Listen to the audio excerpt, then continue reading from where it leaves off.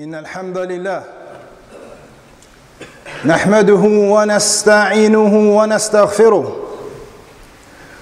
ونعوذ بالله من شرور أنفسنا ومن سيئات أعمالنا من يهده الله فلا مضل له ومن يضلل فلا هادي له وأشهد أن لا إله إلا الله وحده لا شريك له وأشهد أن محمدا عبده ورسوله وصفيه من بين خلقه وخليله.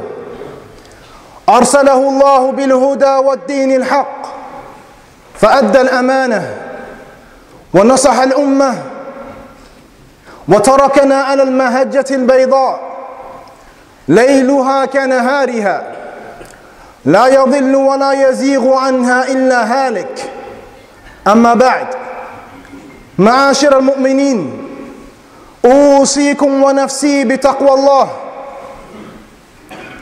ثم اعلموا رحمكم الله.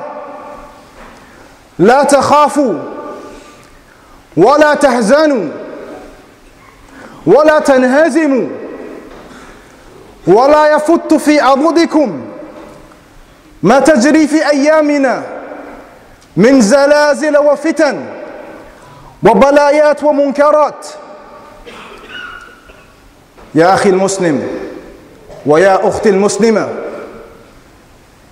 كونوا معززين مكرمين بدينكم الذي اصطفاه الله سبحانه وتعالى لكم. ومن أحسن قولا ممن دعا إلى الله وعمل صالحا. وقال إنني من المسلمين.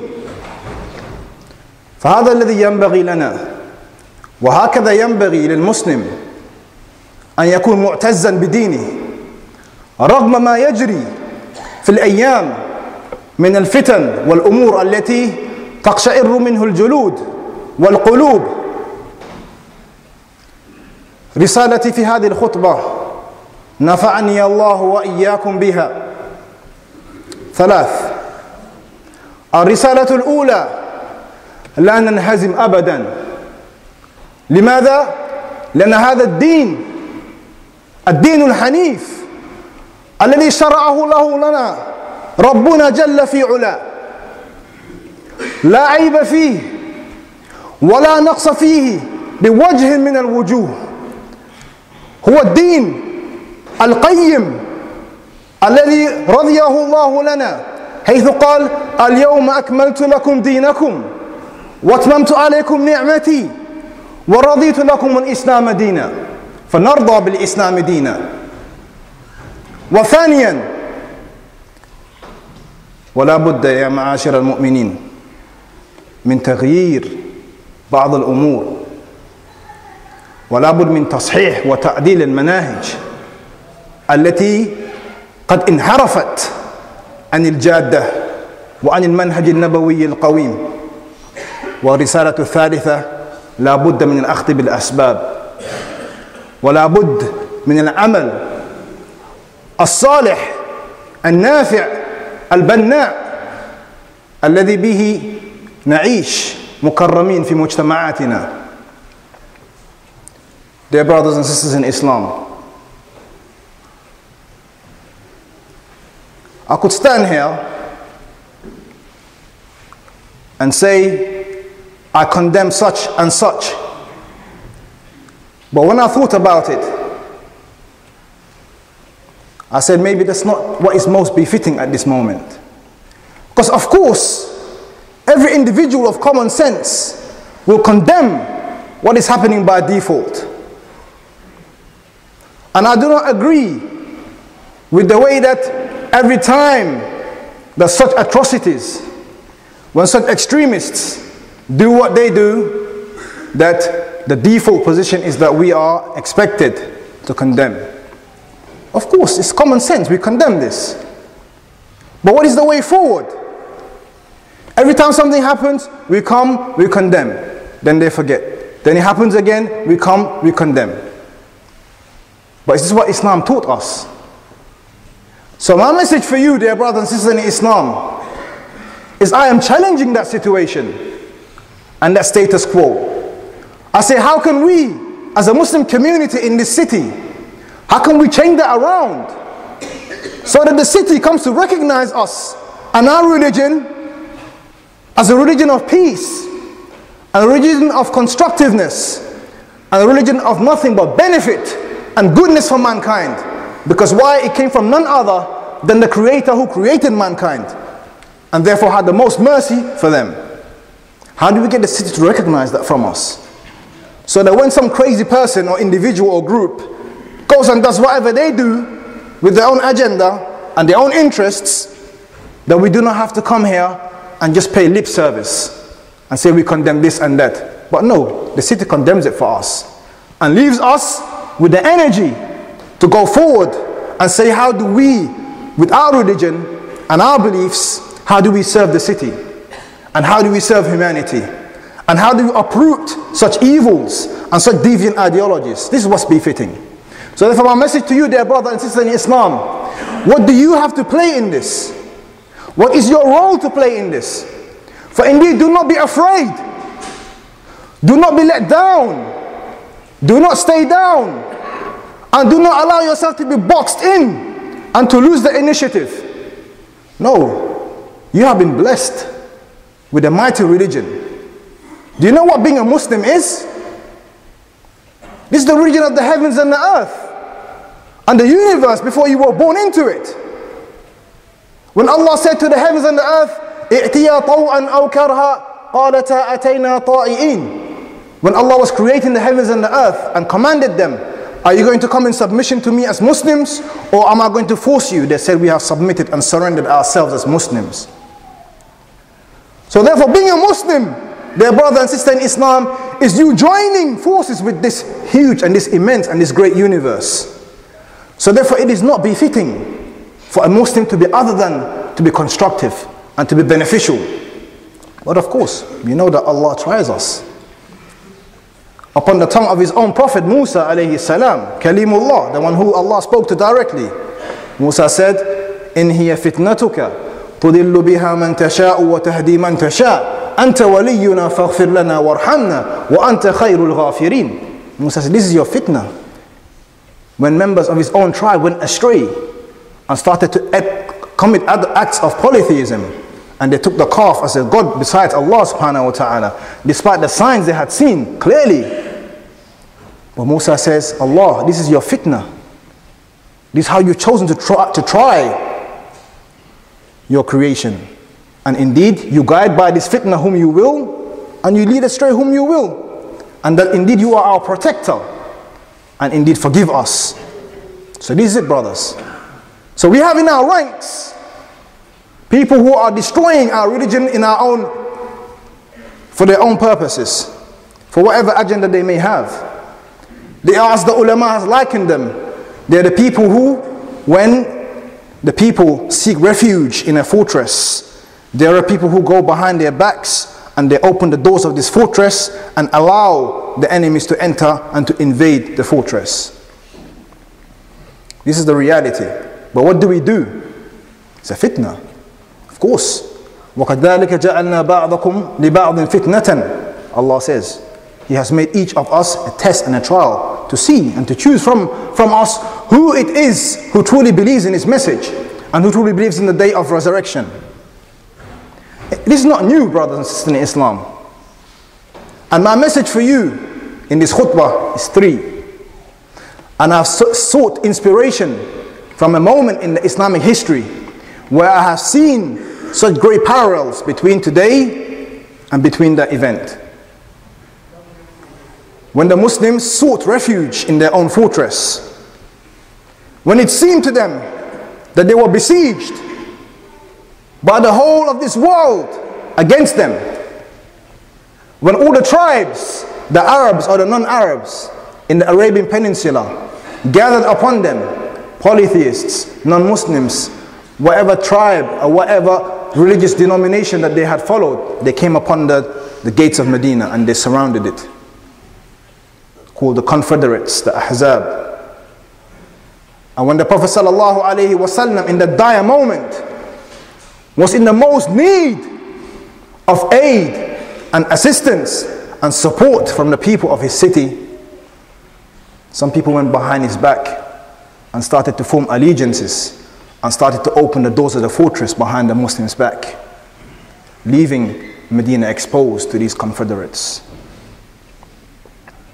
But what was the response of our Prophet Muhammad sallallahu alaihi wasallam to this? Did he live in a besieged mentality and crawl into his shell? Did he follow one extreme or one pole? Did he give up? No, Allah. Because this is not the spirit of Islam. The religion that's the religion of the heavens and the earth. It is not a religion that will give up and that we lose hope. Never.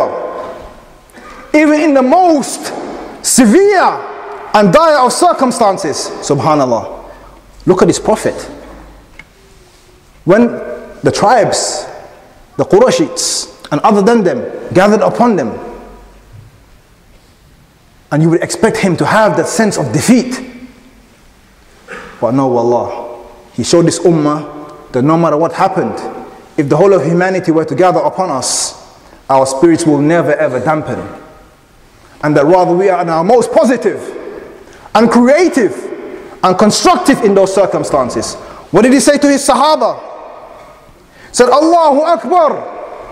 أبشروا معشر المسلمين بفتح الله ونصره قد فتح لي أبواب الشام وقصور مداين وأبواب يمن أو كما قال صلى الله عليه وسلم في الأحاديث الصحيحة مروية في البخاري وغيره In those dire circumstances, he did not give up. He was in his most positive. And he gave that message of positivity to his Sahaba. And he said to them, O company of Muslims, take glad tidings from me. For indeed Allah will aid us and will grant us victory. For indeed in this day, for indeed in this moment, I can see the gates of Yemen and the palaces of Madain in the Persian Empire and of Syria and other than them in the, the empires that were around this Arabian Peninsula in that day. So obviously, the hypocrites say, "Ma wa'adana Allah wa rasuluhu illa ghurura." They say, "Look at what this prophet is is is. Here we are, as some of them said, we can't even go to toilet because we are being besieged, and yet this prophet is giving us glad tidings of Yemen and Syria and Persia. But no, because he was teaching them a lesson. That in the most dire of circumstances, that when the Muslims feel as though they were under siege, that's when the, the victory of Allah and that's when the opening is nearest. As the Prophet ﷺ said, إِنَّمَا النَّصْرُ إِنَّمَا النَّصْرُ مَعَ الصَّبْرِ وَإِنَّمَا الْفَرَجُ مَعَ الْكَرْبِ That whenever the, the musibah and the hardship and the distress at its bitterest and its hardest, that's when the opening and the glory and the victory of Allah is at its closest. As Allah said, أَمْ حَسِبْتُمْ أَن تَدْخُلُوا الْجَنَّةِ وَلَمَّا يَأْتِكُمْ مَثَلُ الَّذِينَ خَلَوْا مِنْ قَبْلِكُمْ مستهم البأساء والضراء وزلزلوا حتى يقول الرسول والذين آمنوا معه متى نصر الله ألا إن نصر الله قريب That indeed, the example that Allah gave to the Prophet, the example of those nations who were before the Muslims, that when they, as the Allah said, وَزُلْزِلُوا That it, it was almost as though the, the grounds were shaking beneath their feet from the severity and the hardship of the trials and the tribulation that they were going through, that they asked their Prophet, When will Allah help us? And the answer, of course, that Allah's aid is, is close. It depends on you. So this is, the, this is the lesson that the Prophet gave to the Sahaba. Do not give up. You are upon the truth. This religion is nothing but the truth, brothers and sisters in Islam. But what do you do with it? What is the next step? Beyond just pure condemnation and beyond just negativity and pessimism. What is the next step forward? It is not befitting for a Muslim to stay down negative and giving up. For that, for that reason, the second message I have to give to us is that we have to change our mindset. For indeed, as somebody said, and the hikmah is taken from whoever it comes from, as long as it does not go against the truth that we have with us. The problems that we are facing now as a humanity cannot be solved at the same level of thinking which created them.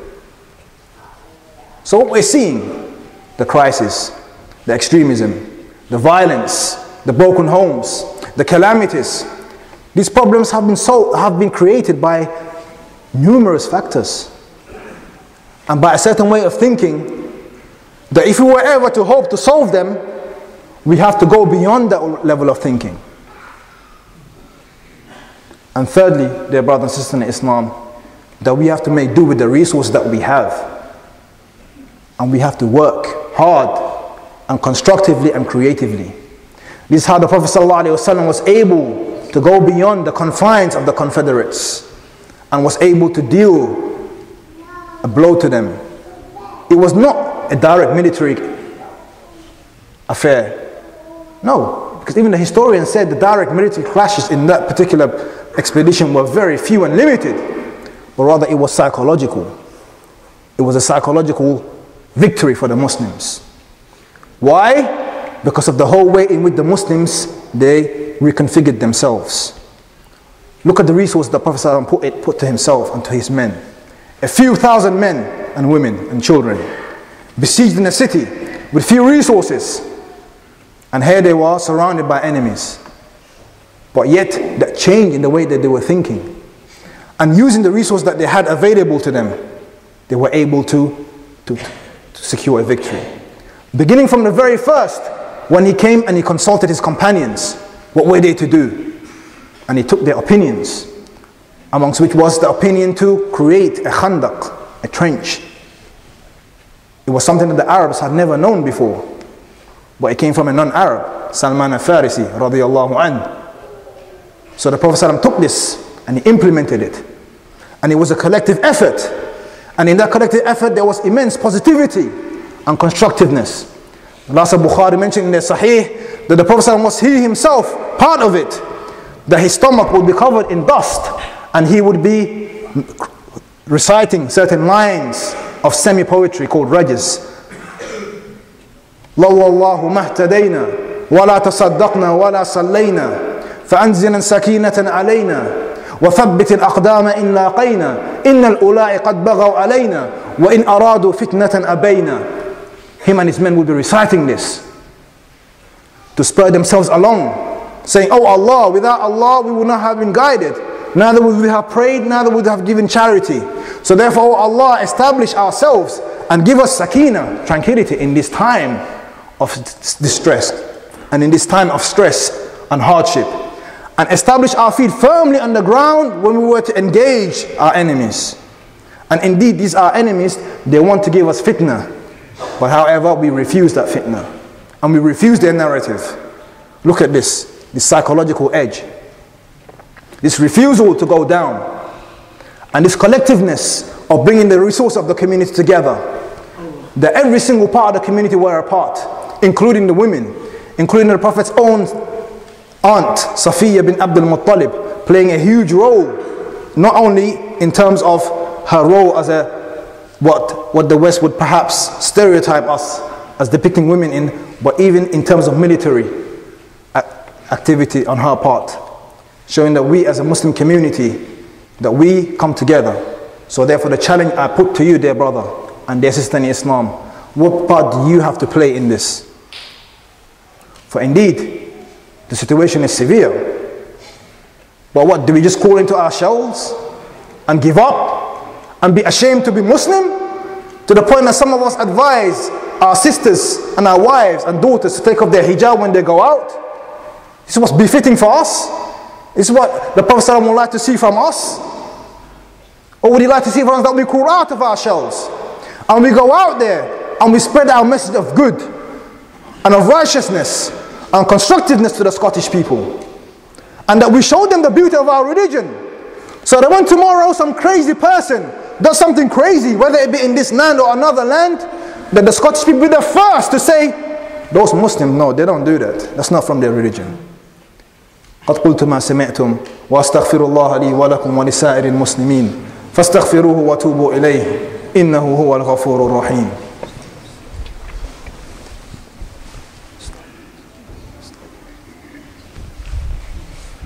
الحمد لله على إحسانه وشكر له على توفيقه وامتنانه وصلى الله وسلم على نبينا داعي إلى رضوانه Dear brother and dear sister in Islam, indeed, it is a religion of action and it's a religion which considers the importance of the action of every single individual in it. So, therefore, what am I going to do about this? And what are you going to do about this? Know that every single thing that you are upon, dear brother and dear sister in Islam, will have a ripple effect upon our religion. So, whether it be you in your home, in your marriage, your patience there, and you doing your best to secure that it was successful, or whether it be you in your business, you making your best to provide jobs for your community, or you in your study, never give up. Strive and establish yourself as an imam in that, as a leader, so that you benefit yourself, you benefit your family, and you benefit your community. This is what our religion tells us. And to refuse to be put in a box you cannot put us in a box. Because our religion is the religion of the heavens and the earth. What box are you going to put us in?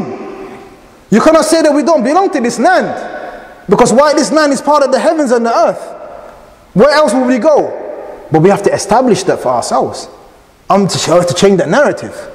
And it starts with us and in this city. And it requires a change in the mindset in how we engage with the people. And for that reason, I'm very pleased that one of the initiatives that I'm happy to share is that the Edinburgh Festival is part of the festival in which the mosque participates in, in sharing this message of Islam to the people, opening our doors, because we have nothing to hide. Wallahi, what I say in this minbar, in this pulpit, is what I say in my office, one on one with my brothers and sisters in Islam.